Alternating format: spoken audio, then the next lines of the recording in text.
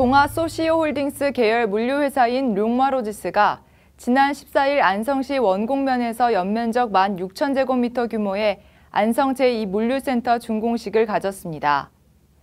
용마로지스는 전국에 총 15개의 물류센터를 운영하고 있으며 안성물류센터는 분류와 보관의 물류허브 기능을 맡고 있습니다.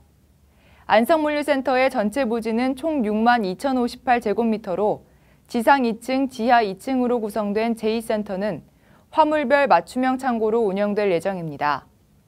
입출고와 보관 등의 전통적인 기능을 넘어 라벨링, 포장 작업, 유통 가공 등의 기능이 대폭 강화됐습니다.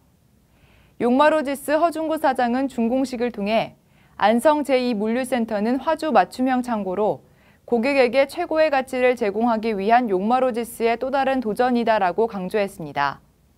KSG 뉴스 이은지입니다.